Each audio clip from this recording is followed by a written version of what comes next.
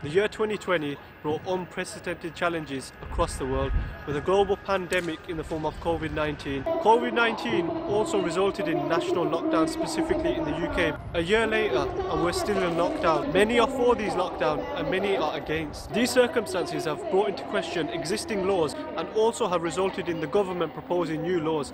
New laws such as those that are being protested against today to my left. There are those who are for the laws and are with giving the police more rights. There are also those who are protesting today and who have been across the nation for the last few weeks who are of the opinion that these new laws are going to infringe upon their human rights. Six minutes for a roadblock versus three hours for a woman who is a danger to herself and others. That is absolutely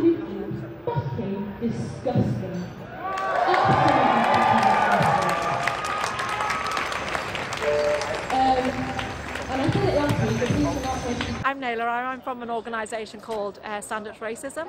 Uh, I'm, I'm, the co-chair of the organisation here in the Greater Manchester area, but obviously it's a national organisation, and where we've come out part of a whole host of other, alongside a whole host of other organisations, to campaign against this new crime bill that the Tories are trying to push through. Can you just tell us what the crime bill is? So basically, it's a bill that would, would stop us from demonstrating. So in the bill, it says that uh, you can be fined or stopped from having a, having a demonstration if the police think it's you're being a nuisance.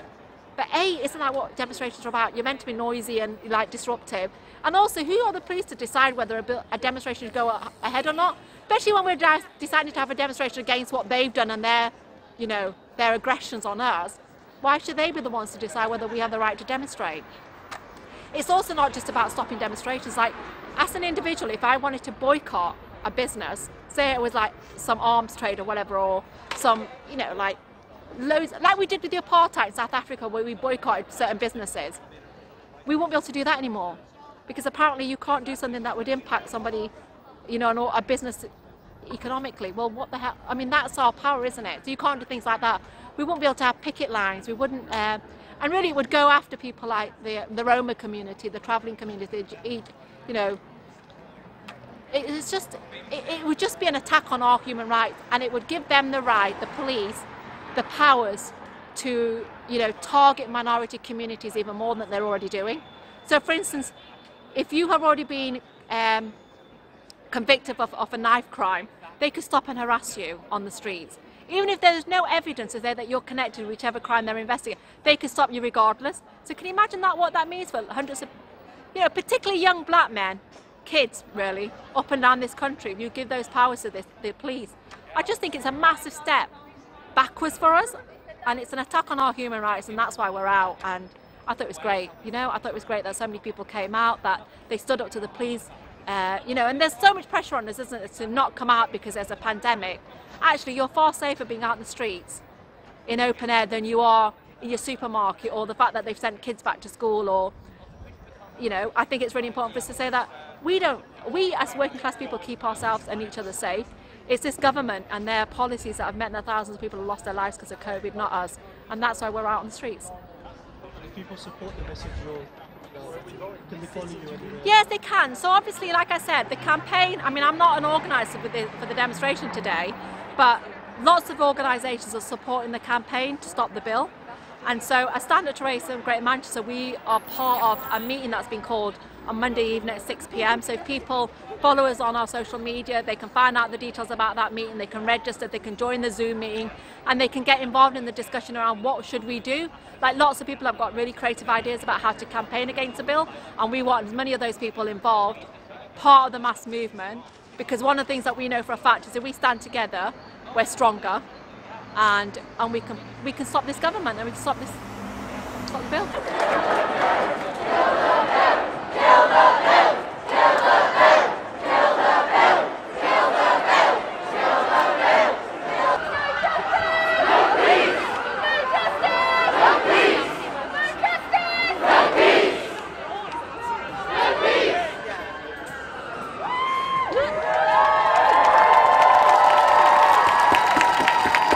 I on YouTube, not going to give out my real name because I don't really like that. Uh, I'm a, I'm a protester, I protest quite a lot, I give speeches. I generally care about the right to protest. See, it's fine whilst everybody doesn't care now, but what about when people are fighting for higher wages and what about when it affects them personally? That's when people will care. And people need to start caring now because if they care later, they'll probably end up with a lot of consequences for it. Thank you.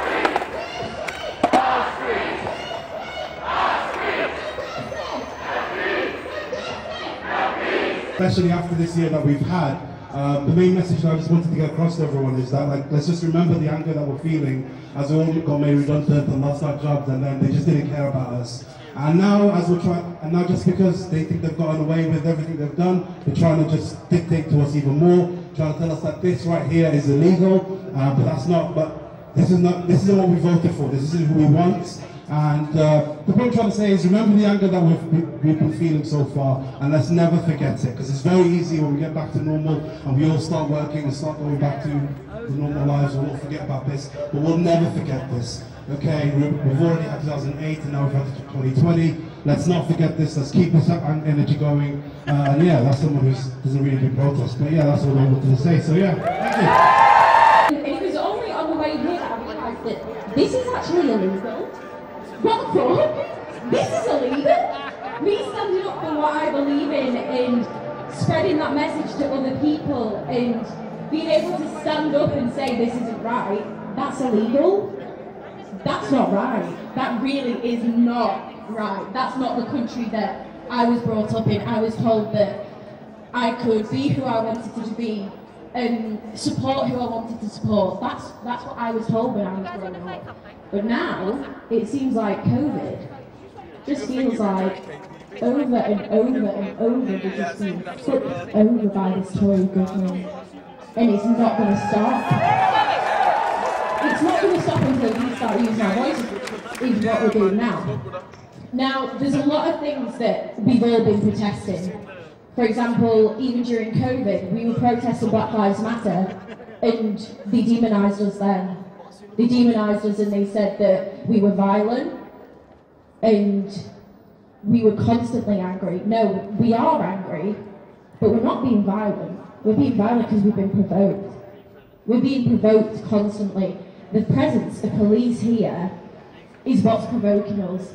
Then when they come up to us and we say no comment, we don't want to speak to you, no comment, go away. That's when they properly go for us. So everybody here, do not rise to their jabs at you. Stand your fucking ground. Stand your fucking ground. They can't tell us what to do. Yes, it may be fucking illegal, but that's why I want to say what I want to say. So, fuck the police. Fuck the police. Black Lives Matter, okay?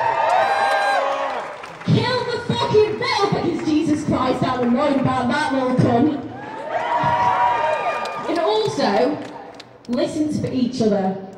I come up here, I'm speaking, I'm a cis white woman. There's so many other voices that you need to listen to today. You listen, you need to listen to the black women that are going to be speaking today. You need to listen to the trans women. You need to listen to the non-binary people that are going to speak today. Because they're constantly being fucked over as well. They're being fucked over more than anybody else in this situation. If Sarah, Sarah Everard, Everard was a woman of colour, we wouldn't have heard about it. That's a lot to take in. It's because she was a white woman that we heard about it and we got annoyed. So listen to everyone that's going to speak up today. I can't stress it enough. So fuck the police.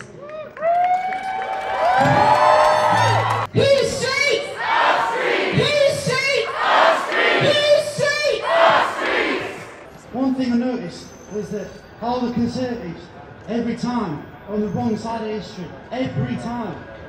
Have they ever been on the right side of history? And once again, unfortunately, unfortunately we've seen here the history repeat itself. Every time they try and infringe on people's rights. And here they're infringing on people's rights. It's a protest, it's a human right. And I, I just I just thought that was really important. I'm glad that so many people here recognised that and turned out. You know, we've all got, some, we've all got something to say. Boris Johnson and his Tory government once again proving how, you know, they want to do that. They want, they want to maintain the status quo. They want to maintain the elitist control and power by limiting people's rights to protest. And I just, I just thought that was really important to say. I'm so happy to see all these people together, of all colours, of all ages, and you know what, fuck the police, we've got this, kill the bill, get everyone equal rights, because I'm sick of this, and also, let's not forget the rest of the people around the world, the women who we need to stand up for, the men who need to stand up for, trans people, bi people, Everyone, everyone needs to be taken into account for. Thank you for being here today, and well. We're proud of and stand up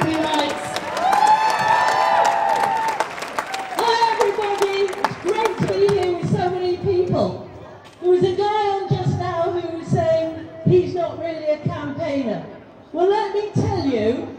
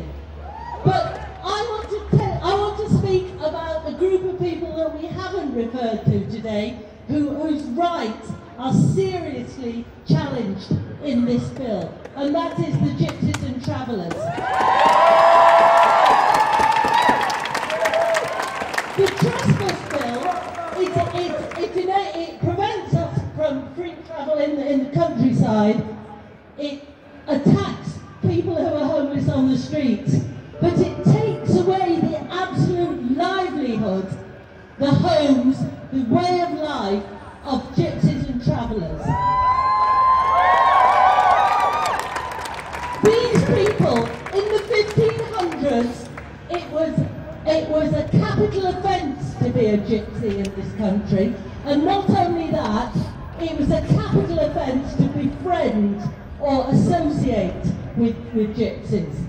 And we're returning to that terrible racist state, and we have to challenge it absolutely and stand with those people and all other oppressed people.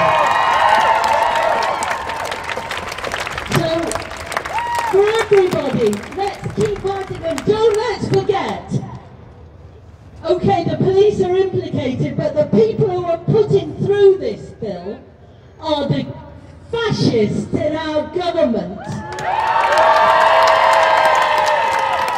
So, whose streets? Our streets! Whose streets? Our streets! Whose streets? Our streets!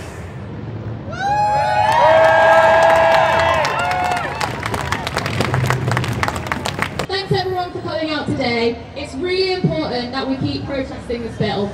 Uh, I'm here as a member of the Socialist Worker Student Society to oppose this bill today, and we need as many people out on the streets as possible. We need the trade unions to go out on strike. We need to keep fighting.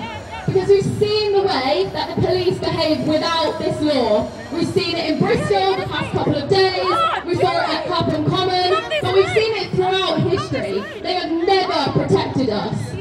We see it in the way they disproportionately stop and search black people who are nine times more likely to be stopped, and the way they protect fascists time and time again. And if this bill goes through, it will give the police more powers on protests. And as the previous speaker said, it will also criminalise Roma and traveller groups, and it will give police more power to stop and search people previously convicted of knife crime offences without any reason or suspicion. But the right to protest is fundamental. Everything we have ever achieved under this system, we have won through protest and campaigning. The right to vote, decriminalisation of homosexuality, equal abortion access, the list goes on. Because the state will try to repress us and silence us whenever they can. And according to the government, This bill is going to give the police powers and tools they need to keep themselves and us safe. But we know the police don't keep us safe. And the idea that that institution, which exists solely to uphold the interests of the state, should be given more power over protesters is dangerous.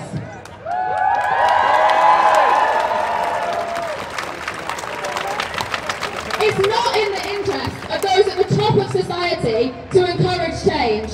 The capitalist system is working fine for them, but that system, that racist, sexist, homophobic, transphobic system, which is causing the deaths of so many of us, needs to be opposed. Resistance has never been more important. We have to oppose this bill. We need to get involved with local movements, and we have to keep fighting for our right to protest. Hi everyone. Um, I just realised that if a hundred years ago today we didn't have the right to protest, women wouldn't have the right to vote. So any woman that voted for us to not have the right to protest should be ashamed because they wouldn't have been able to do that. They wouldn't have been able to vote to even choose that if we had the right to protest. So 100 years ago, they didn't. Women couldn't vote. And that's all because of the suffragettes. And it's all because they protested. And if we can't protest, then nothing will change. Because the only thing we can do is change things ourselves. So who's street? Our street! Whose street? Our street! Whose street? Our street! Thank you for all coming out today. You're amazing!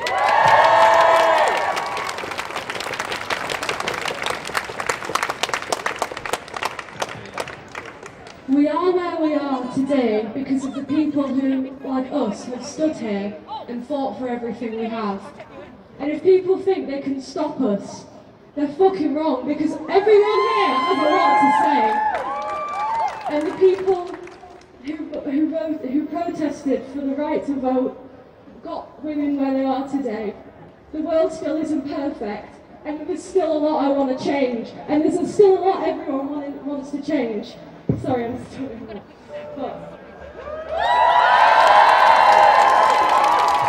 God for the world we live in today, and there are still so many problems with the world we live in today that we're not going to stop, and we're going to keep going until we have everything we need, until people aren't killed for the way they look or for their gender or for expressing who they want to be.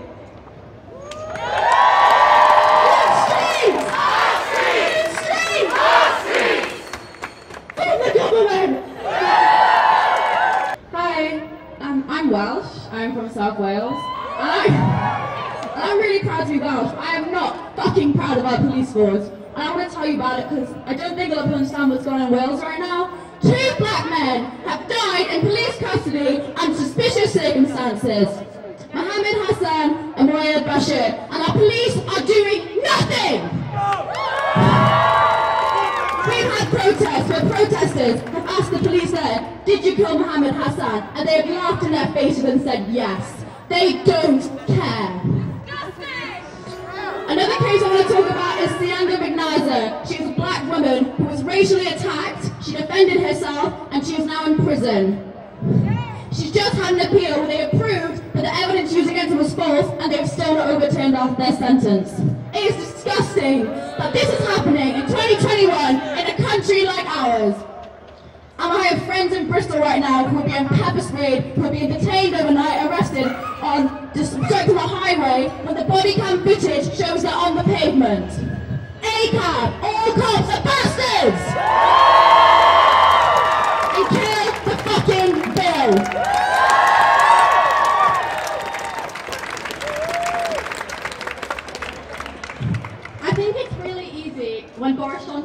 TV and does his little funny stints for a lot of people to think that he's a that he's a harmless leader. But he's shown a consistent lack of respect for human rights and what he can do lawfully throughout his entire term as Prime Minister.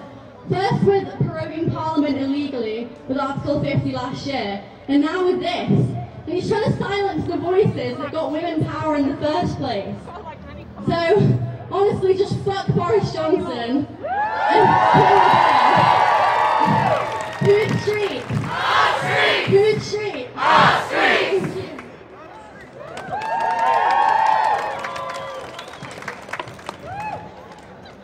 I'd just like to say, when I first heard about this bill coming through, my first thought was, how fucking dare they?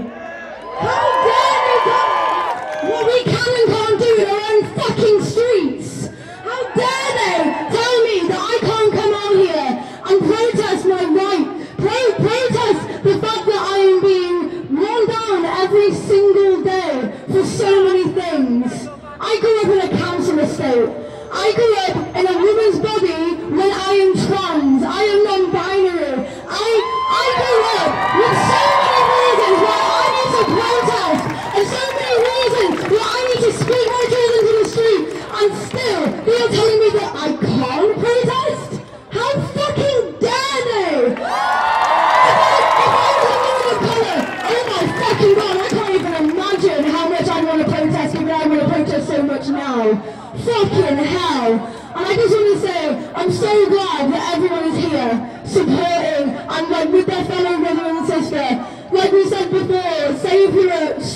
White cis male, you're here, you're helping, you're being an ally, you're doing what you can.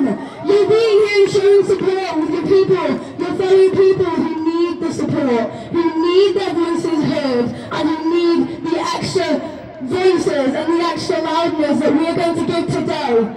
As they said, be angry, shout, scream, show us what you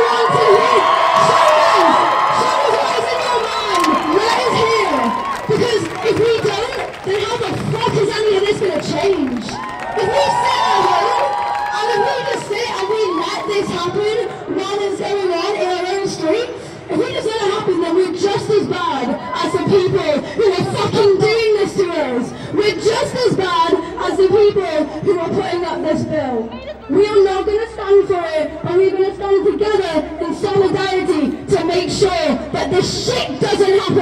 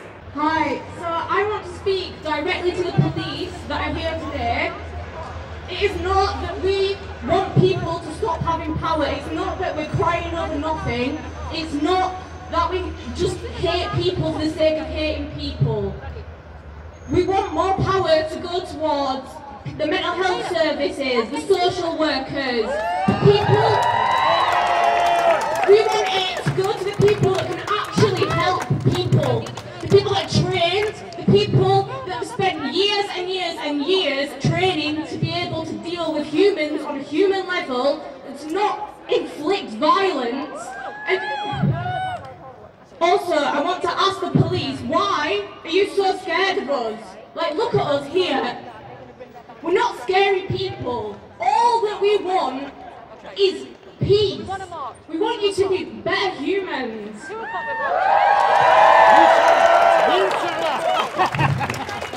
It's gone far past the point of us being able to trust the police. Relations are not going to be fixed now. It's too far. You have taken it too far.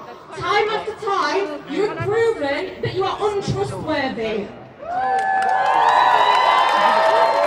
The police have been trained, it is ingrained in them to fear us, to fear Muslim people, to fear black people, to fear protesters, to fear the working class. They have also been trained and it is ingrained in them to fear each other, to fear their colleagues, to be scared of their bosses, to be scared of speaking out, to be scared of whistleblowing. Down there, take a left and put We know you are scared of your colleagues. The ones that rape, the ones that murder, the ones that are predators, the ones that abuse their wives, their husbands. You are scared of the ones that are in paedophile gangs, the ones that are just paedophiles, just you're scared of each other. So why is it, so why is it that the only people that you attack out of all those people you fear are us? Why is that? Why are you too scared to speak out on your colleagues? We're not sick. We are not sick. We don't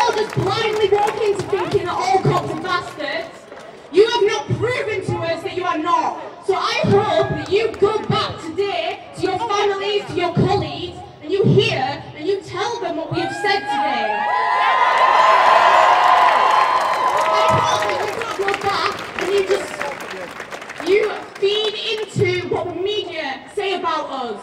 I hope that you don't just actually believe that we're all thick and that we all just want to cry over nothing and that we are all violent.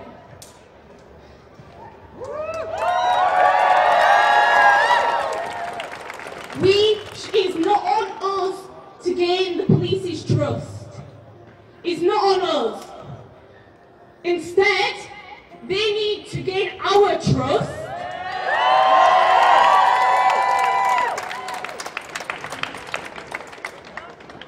Sorry, right. So what we want is, we want accessible whistleblowing. I don't believe that, you are going to provide that. I don't believe that you are going to be able to do that. What we need is enough funding social workers, for the NHS, for mental health services, for charities that are trained and are able to deal with people so that you don't have to interfere when situations get to a level where somebody is needed. You are not trained enough to deal with people that need you. So we don't want you there. We want the money to go towards people that know what they're doing.